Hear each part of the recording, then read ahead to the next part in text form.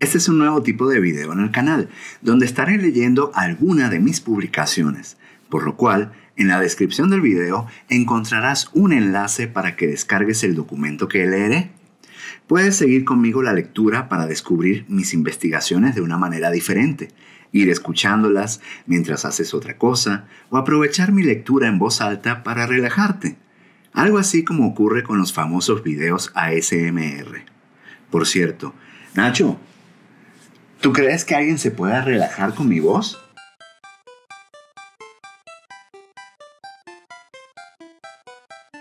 Leamos entonces.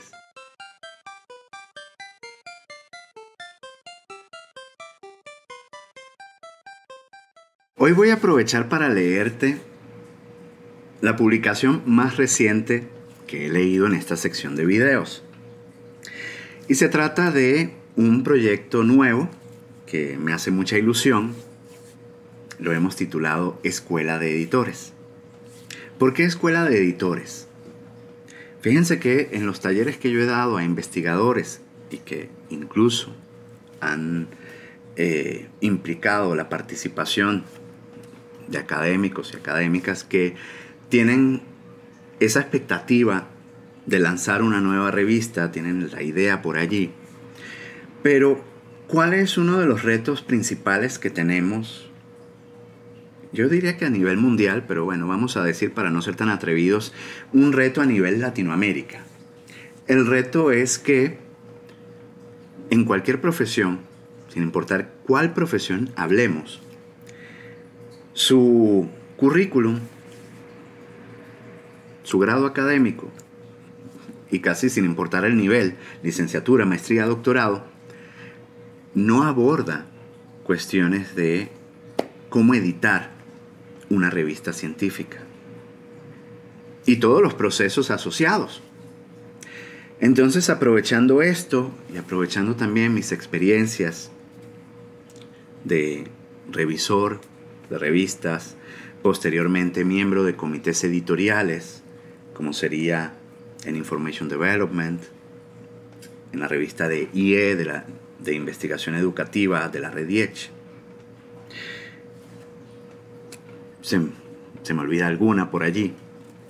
También eh, como editor asociado de Digital Library Perspectives y de Information Development, también donde sirvo eh, bajo la misma posición. Actualmente también estoy involucrado en este nuevo proyecto de revista institucional que es la revista Estudios de la Información. Voy a dejarles un enlace en los comentarios para que la visiten. Un proyecto que lanzamos, pues valga la redundancia, con mucha ilusión y que invitamos a todos los colegas a revisarla y sobre todo a enviarnos propuestas. Sobre todo a enviarnos propuestas también a los estudiantes para que la usen, la revista. Y bueno, ya sin mucho más preámbulo, les voy a leer la primera entrega de esta escuela de editores. Y empezamos con quizás el primer tema de todos. Así que quieren crear una nueva revista científica. ¿Para qué? Vamos a revisar acá. Vamos con el resumen. En esta primera entrega de la sección Escuela de Editores, discuto distintas razones que pueden motivar el lanzamiento de una nueva revista científica. Parto del cuestionamiento, ¿para qué queremos fundar una nueva revista? Su respuesta implica encontrar que puede haber razones correctas y erróneas para crear una nueva revista y que, de tratarse de una revista institucional, el poco conocimiento que tienen algunos de lo que es y lo que implica una revista científica, puede jugar en contra de tal proyecto, posiblemente condenándolo al fracaso. Adicionalmente, presento los resultados de una revisión bibliográfica, principalmente de fuentes que tratan sobre la publicación de 28 revistas específicas que permiten discutir las distintas cuestiones que dificultan crear revistas, las razones por las cuales podemos crear una nueva revista científica y, a manera de conclusión, los primeros pasos para lanzar una nueva revista.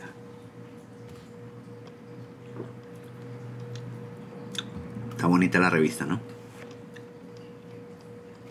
En este primer número de la revista Estudios de la Información, les ofrezco la primera entrega de la sección Escuela de Editores, la cual concebí como una especie de epílogo que cerrará cada número.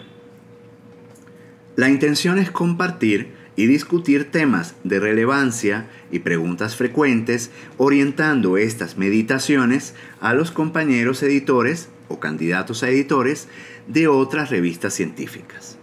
Al iniciar nuestra revista, me ha parecido pertinente partir de uno de los primeros cuestionamientos que hay que hacerse. ¿Para qué queremos fundar una nueva revista? La decisión de fundar una nueva revista es una que no debe tomarse a la ligera. Sin embargo, un problema actual y que parece agravarse con el tiempo es que se subestima el trabajo y condiciones necesarias para crear una revista, y especialmente para mantener su operación en el tiempo, a la vez que se sobreestiman las capacidades de los recursos disponibles, especialmente cuando hablamos de revistas de sociedades científicas o de revistas institucionales. Tal problema tiene su origen usualmente en el desconocimiento generalizado de todo lo que rodea a este medio de comunicación científica y lo complicado que es generar una nueva revista que sea competitiva entre sus pares y a la vez atractiva para los autores cosas que se retroalimentan continuamente y guardan una muy íntima relación. Es así como algunos administradores pareciese que pensaran que con la orden hágase la revista, esta aparecerá y funcionará sin que le haga falta nada en especial, como una tarea más. A su vez, estos sujetos verían al conjunto de revistas como bombones bien envueltos, arreglados simétrica y cuidadosamente envueltos en papel brillante, dentro de sus cajas y tras un mostrador de cristal que permita presumirlas, mientras su funcionamiento, misión y resultados les son un total misterio. A las posibles dificultades y desconocimiento presentes en el contexto donde va a nacer una revista, la cuestión de para qué fundar una nueva revista, también se ve abrumada por la fuerte competencia entre revistas. Por ejemplo, una nueva revista va a iniciar sin poder tener su propio número internacional normalizado de publicaciones seriadas, el ISSN. Ya que al menos en México, primero debe estar la publicación en circulación para poder tramitar el ISSN ante el Instituto Nacional de Derecho de Autor. Obviamente, si no tiene ISSN, la revista tampoco podrá ser listada en ningún directorio, base de datos o mucho menos en alguno de los tan codiciados índices bibliométricos de citación como los de la Web of Science y Scopus. Lo anterior origina un problema fundamental. ¿Cómo cualquier investigador nos va a hacer caso? Es decir, nos va a enviar sus manuscritos si nos falta todo lo anterior y ni siquiera han escuchado sobre nuestra revista. Sí, la importancia de los índices es ampliamente discutida y criticada, ocasionalmente utilizando muy buenos argumentos, y no lo es todo en la publicación científica. Sin embargo, muchos sistemas de evaluación de investigadores aún le dan mucho peso a las publicaciones en revistas indizadas e incluso posicionadas entre los primeros cuartiles, llegando incluso a descartar de la evaluación a los artículos publicados en revistas que no estén incluidas en los índices mencionados. También es cierto que ha habido recientes cambios, como la Declaración sobre la Evaluación de la Investigación, DORA, que llama a no emplear los indicadores bibliométricos de las revistas, por ejemplo, el factor de impacto, cuando se trata de evaluar a los investigadores. O la almetría, que consiste en un sistema alternativo y complementario de indicadores a nivel de artículo que se relaciona con su visibilidad, mención y citación en sistemas web no científicos. Pero los cambios en los sistemas de evaluación de investigadores son muy lentos y cualquier revista naciente debería pensar en que debe transitar la vía de ser continuamente evaluada por distintos entes para ser indizada y trabajar poco a poco en función de desarrollarse según los variados criterios de cada índice o ente evaluador. Aunque muchos no estén de acuerdo con estos sistemas, al fin y al cabo son evaluaciones que van superando las revistas y cada evaluación implica un sello de calidad. No he respondido a la pregunta principal, ni tampoco la que formulé en el párrafo anterior. Así pareciese que es el proceso de fundar una nueva revista. Intentamos avanzar, pero debemos retroceder y siempre pensar en otras cosas, pensar en el futuro cercano, cuando simultáneamente nos estamos desesperando porque no llegan artículos suficientes para cubrir el primer número, mientras el tiempo apremia y deberíamos ya estar pensando en el segundo número. Quien se aventure a crear una nueva revista debe estar consciente que puede permanecer por un largo tiempo en estos apuros, por completar los números, porque la demanda de la revista por parte de los autores aún es escasa Obviamente, para los primeros números, requerimos acudir a nuestra red de contactos para que algunos de nuestros colegas escuchen nuestras súplicas y nos confíen sus manuscritos, que bien pudieron haber enviado a una revista con mayor trayectoria y por supuesto bien posicionada. También podría haber la necesidad de completar la cantidad de artículos por cada número con trabajos de quienes están implicados directamente en la producción de la revista. Pero tal solución no debe hacerse costumbre por cuestiones de integridad, endogamia y por los criterios de evaluación de revistas que tienen varios sistemas, lo cual retomaré más adelante. Desde este momento y dada la mencionada circunstancia, es vital cuidar mucho los valores de la integridad académica y de la publicación científica, por lo cual, aunque resultemos odiosos, todos los textos deben ser estrictamente evaluados por pares y si algunos de los artículos son firmados por nosotros, debemos hacernos a un lado para que sea otro colega quien gestione su proceso de evaluación y aceptación, si ésta procede. Uno de los artículos en este número fue tal caso. Debemos hacer lo posible por demostrar el potencial de la revista publicando números con suficiente contenido de calidad para que los demás nos conozcan, pero dentro de los límites de la integridad y los criterios de evaluación a los cuales someteremos la revista en un futuro cercano. Aprender de las experiencias de otras revistas.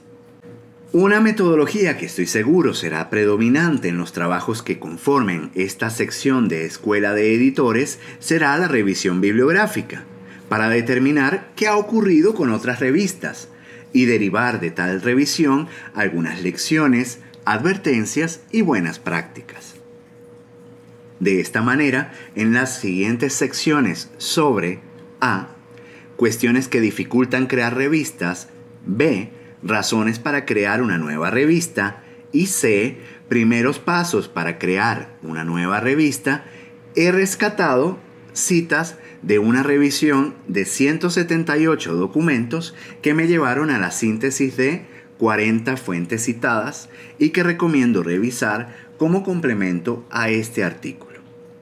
De tal bibliografía, 29 fuentes corresponden a comentarios o notas editoriales sobre la publicación de una revista específica. Dos fuentes corresponden a la misma revista y los demás son artículos que no refieren a una revista en particular, pero fueron útiles para complementar la información que presento a continuación.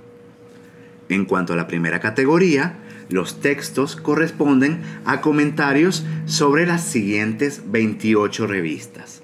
La mayoría de estas muy importantes y que existen hasta el día de hoy, mientras que la última que cito aparecerá en 2024.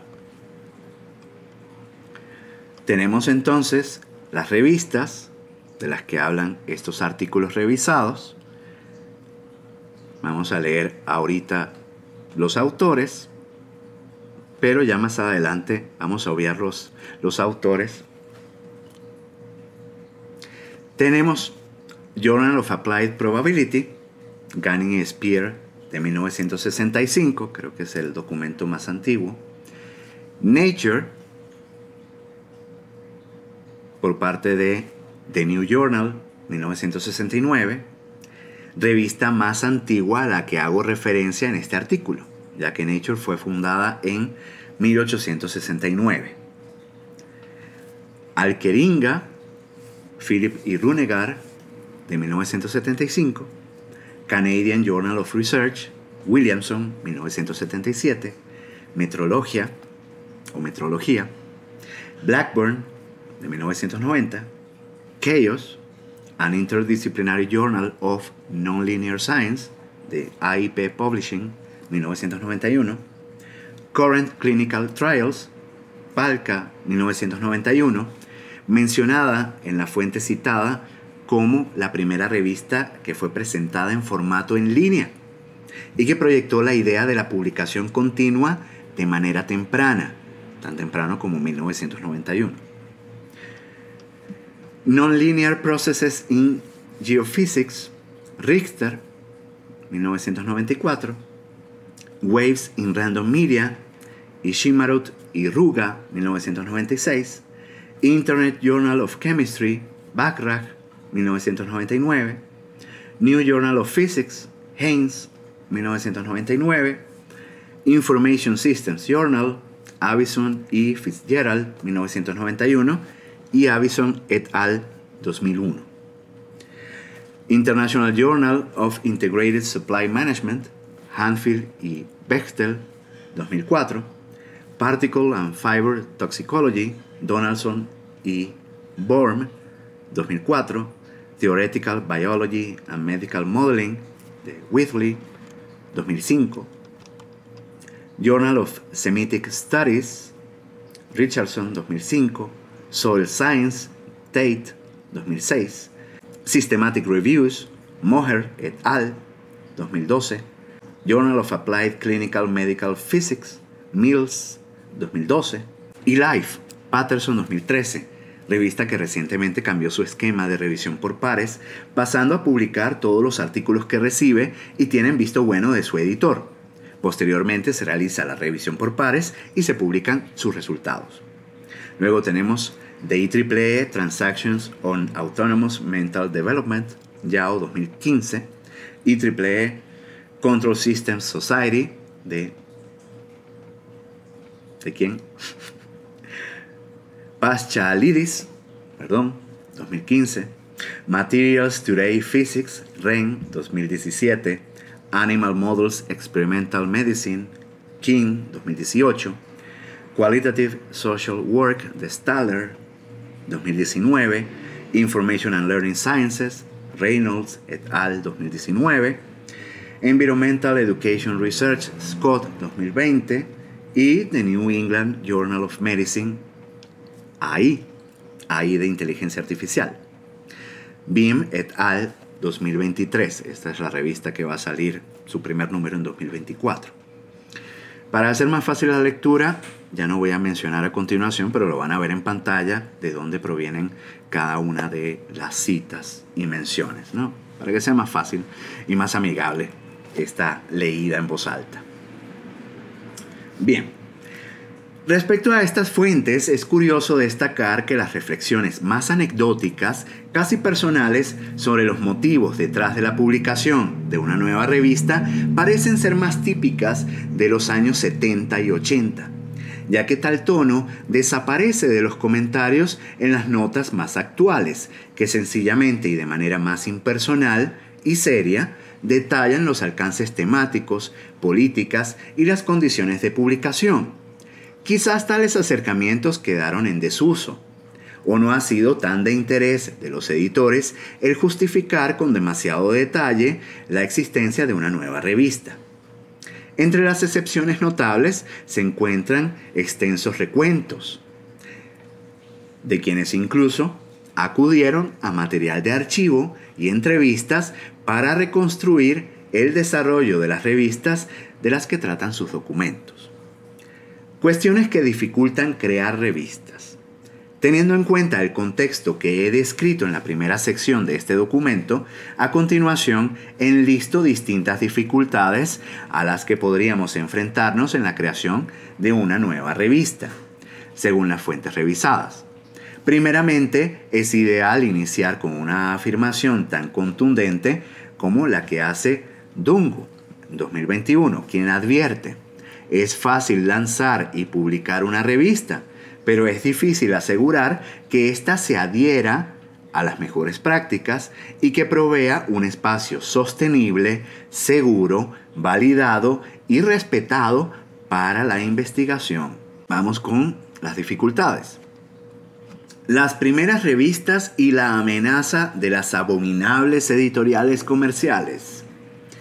Si nos remontamos a la historia de las revistas científicas, haciendo una simplificación extrema, encontramos que las primeras revistas las publicaron generalmente las sociedades científicas y las universidades, siendo sus primeros antecedentes reconocidos la Philosophical Transactions of the Royal Society, que publicó por primera vez la Real Sociedad de Londres para el Avance de la Ciencia Natural el 6 de marzo de 1665, y en menor medida, aunque le antecedió, y disculpen el francés, Le Journal des Scavans, publicada el 5 de enero de 1665 en París.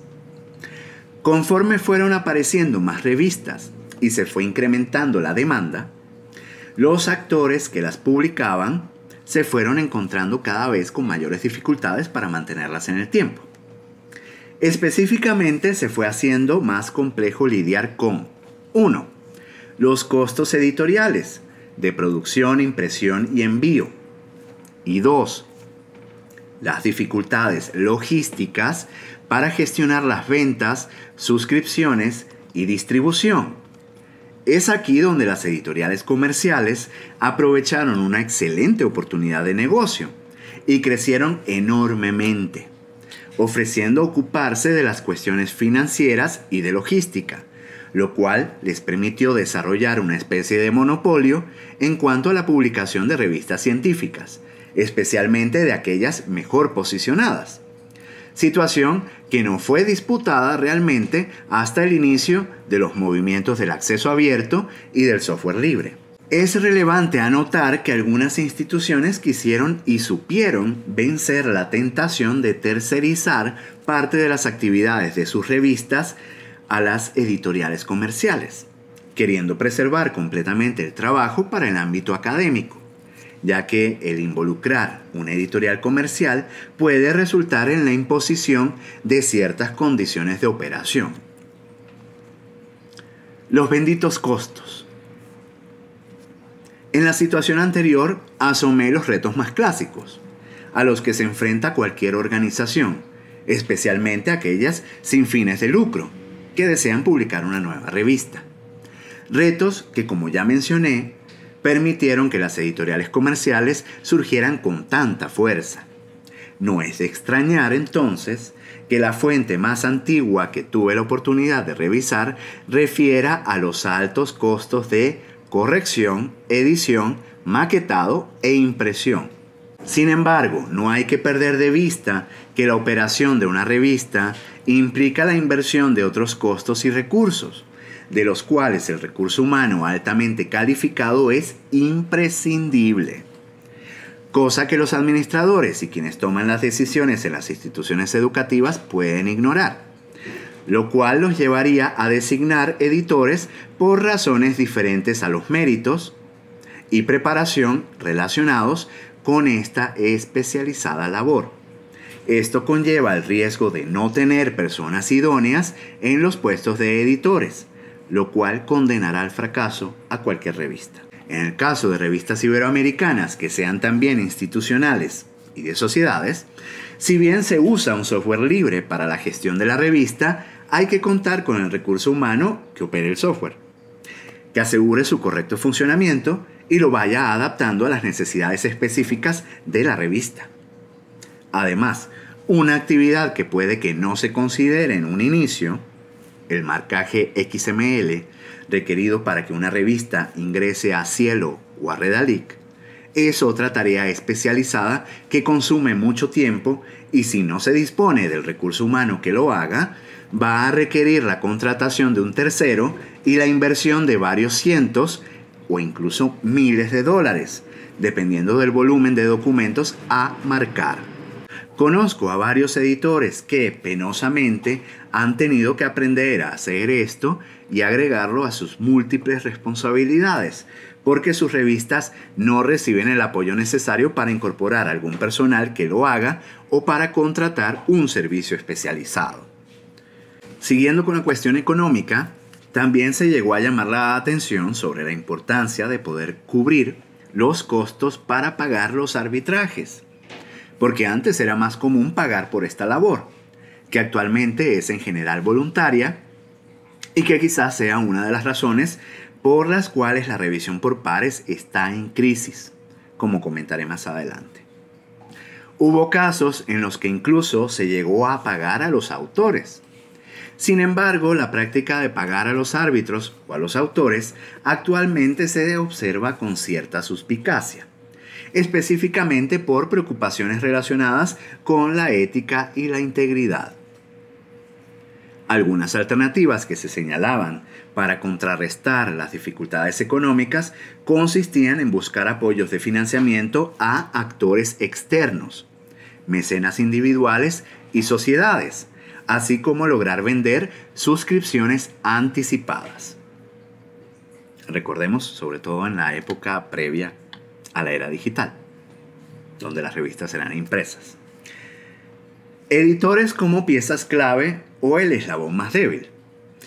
En cuanto al editor de una revista, quien debe ser el máximo responsable de su funcionamiento, se resalta que debe ser una persona capaz de balancear su propia carrera como investigador junto a las labores de la revista, o abandonar la primera si no logra esforzarse en ambas áreas. Es así como en cualquier disciplina podemos encontrar editores brillantes que han visto crecer sus revistas a lo largo de las décadas, pero que no publican o casi no lo hacen. Un ejemplo de este caso en las ciencias de la información podría ser Stephen Parker, único editor que ha tenido la revista Information Development, la cual se acerca a sus 40 años de publicación ininterrumpida. Obviamente, también hay que reconocer a los editores quienes también tienen una carrera de investigadores sobresaliente, como lo sería Tom Wilson, editor de Information Research. Dependiendo de la revista, asumir y llevar a cabo las responsabilidades y labores de ambas áreas, edición y publicación, pueden ser demasiado para una sola persona, ya que el trabajo administrativo de una revista es mucho peso para una sola persona, por lo cual debe establecerse un comité. La trampa de la revista multidisciplinaria.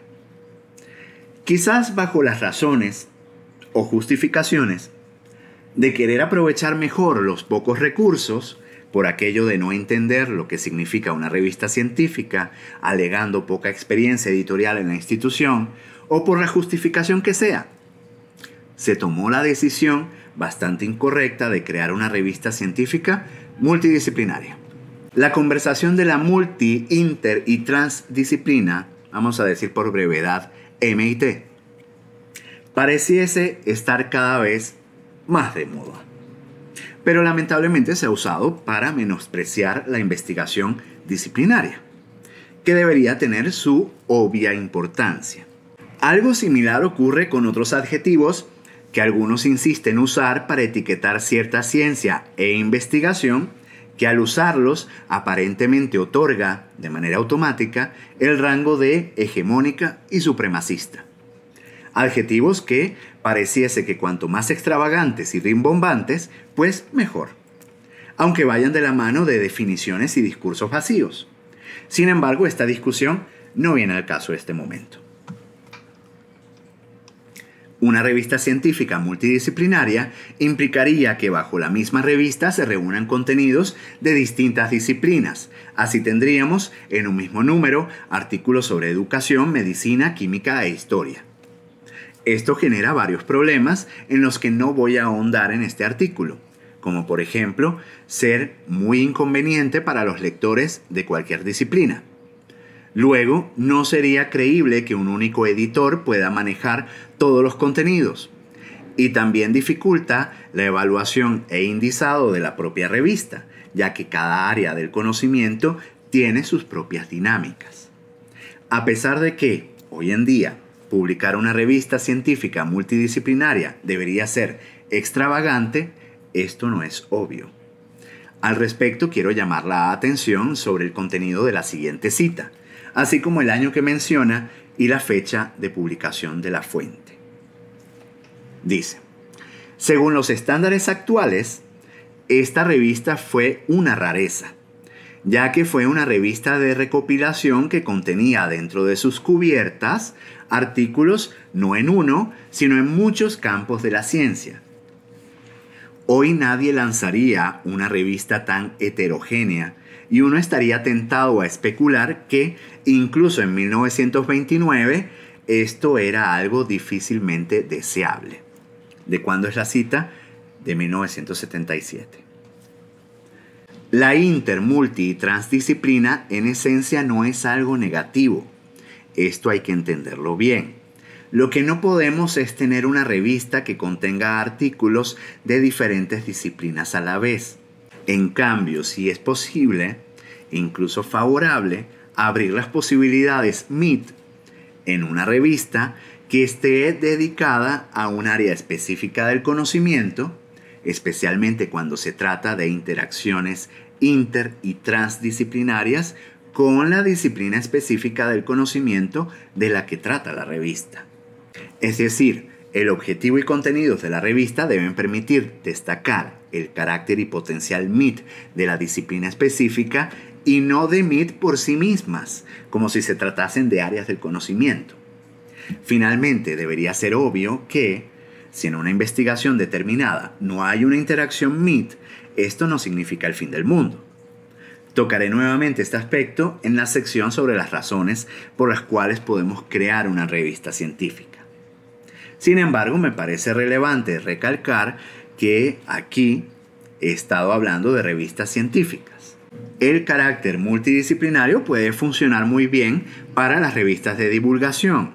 Un ejemplo es muy interesante, prácticamente omnipresente en los ámbitos hispanohablantes revista que hace honor a su título y es mecanismo de divulgación científica y para despertar vocaciones científicas tempranas. Impresa o digital. Curiosamente, cuando la web se encontraba en su infancia y todavía no llegaba a muchos países, se llegó a dudar que una revista que se publicara exclusivamente en línea, sin versión impresa, fuera leída. Actualmente se ha demostrado lo contrario. Una revista que solamente está disponible en formato impreso tendrá serias limitaciones. Obviamente su circulación será mucho menor y por lo tanto no estará en el radar de muchos investigadores, ni será citada. Tampoco será considerada para ser evaluada por Scopus o Web of Science. La tendencia actual es más bien la de generar revistas que solo estén disponibles en formato digital especialmente entre instituciones educativas y sociedades científicas. Aquí obviamente por una cuestión de costos también. ¿Por qué publicar en una revista nueva y por lo tanto no indizada? Como asumí en la introducción, uno de los mayores retos que enfrenta una nueva revista consiste en interesar a otros a que publiquen con nosotros, lo que podría llevarnos a permanecer años luchando por completar los artículos necesarios para lanzar un número, con el peligro constante de incumplir con la periodicidad declarada de la revista. Prácticamente sin importar en cuál etapa de sus carreras, casi cualquier investigador se podría hacer la pregunta, ¿por qué publicar en una nueva revista y no en las establecidas? La gran dificultad para una nueva revista consiste en desarrollar rápidamente una buena reputación, lo cual lleva a mantener buenos estándares de publicación y atraer autores. A esta discusión se agrega de manera bastante insistente la importancia del indizado y posicionamiento de una revista para que los autores quieran publicar en cualquiera de estas, lo cual resta fuerza y posibilidades a las nuevas revistas, cosa que ha cambiado más recientemente con la paulatina adopción y aceptación de Dora, así como en cambios clave que se han realizado en los sistemas de evaluación de investigadores, los cuales considero que son la llave para dar forma a las conductas y prácticas de los investigadores, para bien o para mal. La crisis del arbitraje. También se encuentran los problemas y limitaciones de la revisión por pares o arbitraje, que es lo que lleva a una revista cualquiera al rango de revista científica, el cual califico en crisis, mientras otros autores van más allá, al usar el adjetivo de roto. De hecho, un video de Publons, actualmente no disponible, que realizaron antes que los comprara Clarivate Analytics y los asimilara, como los Borg, a la plataforma de Web of Science, quizás por eso el video ya no está disponible, señalaba como resultados de una encuesta que, en relación con el arbitraje, el 84% de los investigadores piensan que es crítico para controlar la producción científica. Pero a la vez, lo más difícil para un editor es conseguir personas que acepten arbitrar, según respondió el 52.9% de los editores encuestados, seguido por la dificultad de encontrar expertos calificados, un porcentaje de respuesta del 22%. He vivido esto en mi propia experiencia, donde muchos de los investigadores que invito a arbitrar ni siquiera se toman la molestia de responder la invitación. Otros rechazan cualquier invitación de manera sistemática, mientras que a otros se les dificulta cumplir con las fechas límite, cuestiones que complican el proceso de revisión y publicación, además de extender enormemente sus tiempos.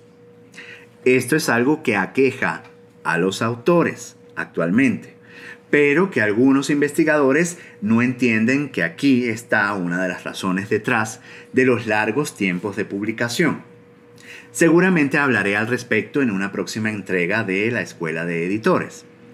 Pero básicamente la mayor complicación yace en la dificultad de encontrar revisores capaces y con la voluntad y el tiempo de realizar la complicada labor de evaluación de un documento científico.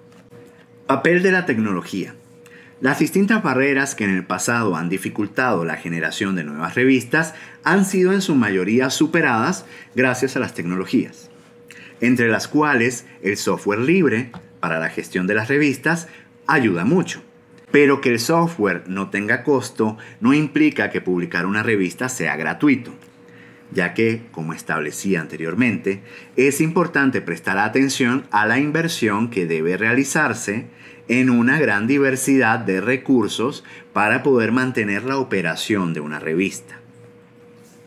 Si bien el costo de operación de una revista es mucho menor que hace 10, 20 o más años, siempre alguien debe pagar la luz. Es un poco odioso que abra y cierre esta sección del texto con el tema de los costos. Pero permítanme aprovechar para retomar uno de los puntos medulares de la introducción y que puede jugar muy en contra del éxito de una nueva revista, porque impacta directamente en la importancia que se le otorgue, lo cual pasa por los recursos que se le dediquen. El tema de la percepción errónea que tienen algunas personas hacia la esencia de lo que son o significan las revistas científicas especialmente las institucionales. Ahora vamos con las razones por las cuales podemos crear una nueva revista científica. Como he tratado de comunicar, hay razones incorrectas o desacertadas por las cuales crear una nueva revista. Finalmente abordaré las razones reconocidas como correctas. Primera razón correcta. No existe una revista sobre la temática específica. La razón que quizás originó muchas revistas en el pasado, pero que cada vez parece más complicado que se repita, es la de crear una nueva revista que esté dedicada a un tema muy específico, cuando se ha determinado que no existe una revista que trate tal temática. Tal criterio podría extenderse a que no existe otra similar en cierto idioma en específico o, en menor medida, dentro de cierta área geográfica, para reducir en cierta forma la dependencia de obras de otros países. Como comentaba, esta razón se hace menos común actualmente, donde es más complicado encontrar una temática de investigación que no tenga al menos una revista que le dé espacio. Sin embargo, es aquí donde ciertos abordajes inter y transdisciplinarios podrían generar tal temática novedosa que amerite una nueva revista. Lo cual también ocurre con el surgimiento de nuevas tecnologías que permean cualquier área del conocimiento, como es el caso de esta revista que va a estar dedicada a aplicaciones de inteligencia artificial en medicina, ¿no? NEJM AI que la mencionamos anteriormente. Somos muchos quienes queremos publicar cada vez más. De manera similar, una nueva revista podría responder al problema de que no son suficientes las revistas para la alta demanda de autores que requieren publicar. Sin embargo, existen críticas que pueden sintetizarse bajo argumentos como el siguiente. Con la entrada de nuevas revistas a la disciplina, sin duda la calidad de la ciencia se vuelve una preocupación. La mayoría de los artículos encuentran, tarde o temprano, su hogar de publicación, lo cual puede diluir la calidad y continuar estratificando las revistas de alto y bajo impacto. Tales críticas que responderían a afirmaciones del tipo no hay suficientes revistas, comunican entonces lo contrario, es decir, que existen demasiadas revistas y la demanda es simplemente un síntoma del infame fenómeno del pública o perece y de los criterios con los que se evalúan a los investigadores que les demandan altos niveles de productividad. Ofrecemos un valor agregado. Una revista puede competir contra otras al ofrecer ciertas facilidades que podrían no ser comunes en una disciplina, temática específica o momento histórico determinado como la publicación sin pago de la cuota de procesamiento del artículo, APC por sus siglas en inglés. Otras podrían ser muy audaces y ofrecer un menor tiempo de revisión y aceptación que la competencia. Sin embargo, con esto último hay que prestar mucha atención a la advertencia de Rey 2016, quien indica que la inclusión y velocidad pueden contraponerse a las metas de la calidad y confiabilidad y la presión para que los investigadores publiquen crea incentivos para participar en un sistema fraudulento. Esta cita nos hace pensar precisamente en las prácticas de las revistas y editoriales predatorias, que prometen imposibles, como publicar en 48 horas o en pocos días o semanas, ya que es muy difícil, si no imposible, que ocurra un proceso creíble de revisión por pares en tan poco tiempo. Otras revistas podrían ofrecer y destacar las bondades de publicar en acceso abierto y permitir que los autores conserven la mayor parte de sus derechos sobre sus obras, lo cual, aún al día de hoy, forma parte de las discusiones y críticas más acaloradas contra las editoriales comerciales. Otro valor agregado pero ya que se da por sentado actualmente, es aprovechar que desaparecen las limitaciones del formato impreso y tomar la oportunidad de desarrollar una revista digital. Contribución al desarrollo de la disciplina. Algo que declara la página web de prácticamente cualquier revista es su propósito de proveer un mecanismo de comunicación de resultados de investigación y avance en las temáticas en las cuales se vaya a especializar la revista o la variante de publicar y comunicar resultados de investigación que llamen la atención de los pares profesionales de una disciplina determinada. Como lo anterior toca a los propios investigadores y a los estudiantes en sus procesos de formación y de aprendizaje de la investigación, es importante enfatizar que tal propósito o misión de una revista no debe de ninguna manera centrarse en un grupo nacional ni mucho menos institucional me parece importante la aclaratoria, porque es más común de lo que debería el escuchar declaraciones del tipo, queremos crear una nueva revista para publicar nuestros propios trabajos. O también, una nueva revista para que los profesores de la institución puedan publicar. Estas son razones muy desacertadas, por decir poco, empezando por cuestiones de endogamia que hacen dudar mucho acerca de la imparcialidad e integridad a la hora de evaluar y publicar los textos de los mismos compañeros de trabajo. Conflictos de interés, y luego prácticamente cualquier sistema de evaluación de revistas, seguramente para evitar estos problemas, exige que la mayor parte de los contenidos sean de autores que estén fuera de la institución que publica la revista, e incluso que sean de otros países. Algo similar se recomienda con la conformación del comité editorial donde se pide diversidad internacional. En otro tenor, la publicación de una nueva revista debe motivar el debate del estado de la disciplina y alguna contemplación acerca de su pasado y futuro. Esto podría verse como una idea abstracta, pero que tiene cierto sentido al introducir una nueva aventura editorial al ecosistema de revistas de una disciplina científica. Será el corpus de textos que se conforme dentro de una revista el que permita desarrollar tal debate y contemplación, lo cual a largo plazo podría distinguir ciertas tendencias o incluso un movimiento específico dentro de la disciplina, que podría rastrearse a las contribuciones de una revista específica. Como lo expresa Tate 2006, que los artículos publicados hablen por nuestra ciencia.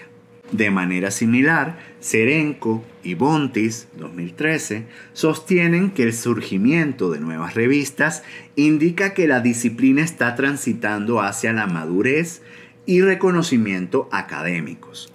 En el área de las ciencias de la información, esto podría ser de gran importancia para el debate y reflexión acerca de la disciplina, ya que en lo educativo estamos enfrentando serios retos de baja demanda en la matrícula, especialmente en nuestro contexto latinoamericano. Una nueva revista podría nacer para ayudar a abrir nuevas líneas de investigación, atender áreas emergentes o de interacción inter y transdisciplinar entre la disciplina de especialidad de la revista y otras áreas, como lo justifican buena parte de las fuentes revisadas. En relación con esta razón, las ciencias de la información destacan, alcanzando el rango de ciencia auxiliar, si no es que es muy pretencioso llamarla metadisciplina. También podría plantearse que una nueva revista va a apoyar el desarrollo y enriquecimiento de una disciplina al innovar e inaugurar nuevas modalidades de textos, materiales o de procesos editoriales que están proponiendo los responsables de la revista y sobre los cuales están convencidos que aportarían un valor a la investigación en la disciplina, porque no necesariamente tienen su espacio en otras revistas. Un ejemplo de esto son las revistas creadas para centrarse exclusivamente en un tipo de contenido, las revisiones sistemáticas las cuales están tan de moda hoy en día y que algunos confunden con las revisiones teóricas clásicas. Otras revistas se han propuesto como espacios necesarios para dar cabida a resultados de investigación donde se han aplicado ciertas metodologías, usualmente cualitativas, que en algunos campos son menos predominantes y reconocidas. Elemento de consolidación de grupos de investigación y de formación de capacidades.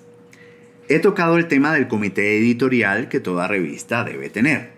Independientemente de su tamaño y distribución geográfica, en las revistas institucionales y en menor medida en revistas de sociedades, muy posiblemente haya un comité editorial nuclear, de miembros reducidos, pero que podrían ser parte de un grupo de investigación con nexos cercanos incluso ser compañeros de trabajo, que por ejemplo en México se organizan bajo la figura de cuerpos académicos. que son personas que unen esfuerzos de investigación, publicación, docencia y dirección de tesis alrededor de líneas de investigación comunes. Este comité nuclear puede verse motivado a iniciar una revista como un elemento adicional de su consolidación, porque han considerado tener el conocimiento y experiencias necesarias para asumir tal responsabilidad.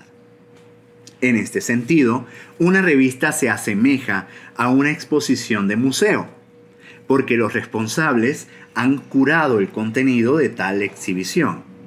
Estudiaron los contenidos que han recibido por parte de sus creadores y tuvieron sumo cuidado en seleccionar solo lo mejor, elevando la calidad de lo que será expuesto a través de la supervisión de un estricto proceso de revisión por pares que garantice la integridad y ética.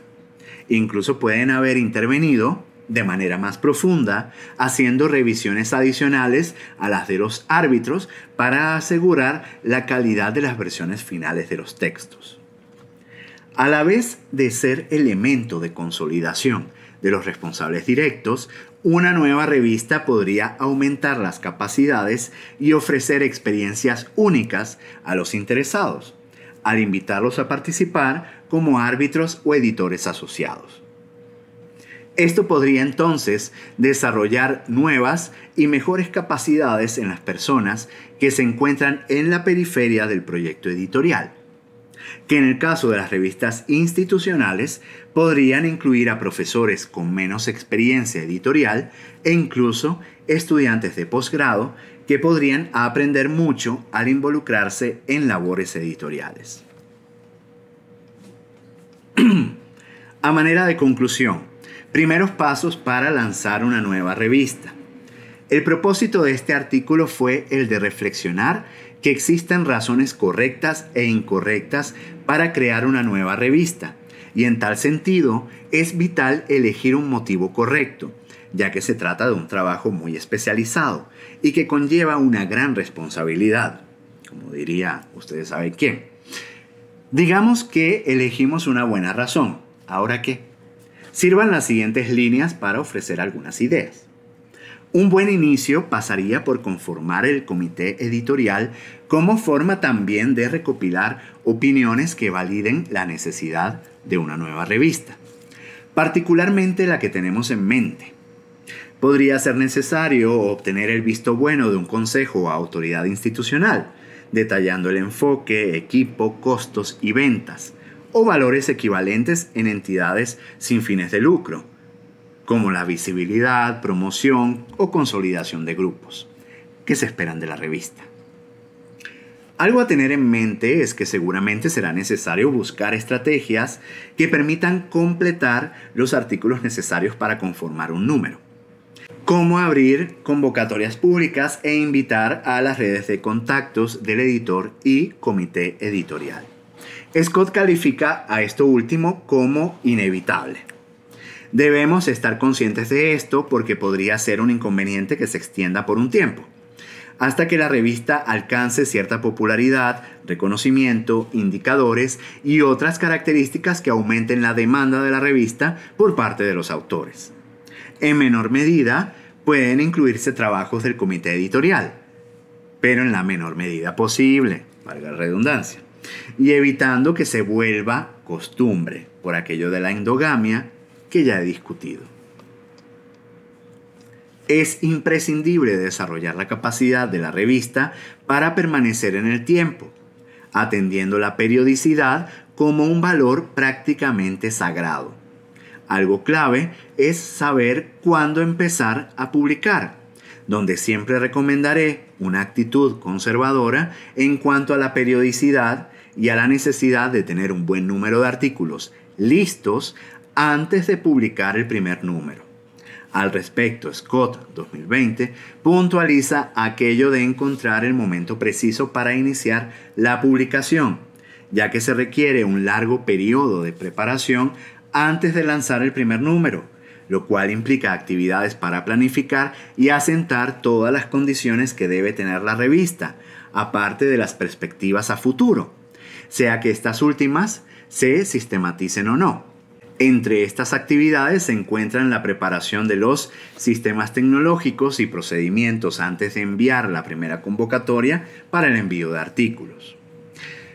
Scott 2020 recomienda tener preparado con antelación un año de contenido antes de publicar el primer número. Estas actividades preparatorias también incluyen definir muy bien los alcances temáticos, objetivos y políticas, así como todos los demás detalles de la revista y su operación, incluyendo el comité editorial, el manejo de la ética y la integridad de la investigación y publicación, los cuales son parte de las buenas prácticas de publicación y son elementos que serán evaluados. Su correcta gestión podría significar el éxito de una revista nueva. Si las líneas temáticas de la revista son amplias, entonces debe haber una apertura por parte del editor para evitar centrarse en aceptar exclusivamente los artículos relacionados con su propia línea de investigación y para que pueda mantenerse la esencia temática de la revista en caso de que cambie su editor. Por último, Sandberg y Borlongan, 2010, enfatizan que la capacidad que tenga una revista para desarrollarse en el tiempo, además de diferenciarse de las demás revistas de su área, podrían garantizar su supervivencia. ¿Qué les pareció este texto? ¿Algo largo? Espero que haya sido de agrado. Si tienen alguna duda, idea para esta sección de Escuela de Editores, por favor pónganla en la caja de comentarios y nos dedicaremos a desarrollar un texto al respecto. Espero con mucha ilusión que esta sección aporte a la capacitación de editores y a discusiones importantes que debemos tener los editores de revistas en América Latina. Te invito a visitar mis redes. Aquí tienes los enlaces. Si te gustó este video, considera darle me gusta, compártelo, coméntalo y suscríbete al canal. Eso me ayudaría mucho para desarrollar y visibilizar videos como este. Si lo deseas, también puedes financiar este proyecto a través de microdonaciones por medio de Patreon o PayPal. Gracias por ser parte del proyecto Juantífico. Hasta la próxima.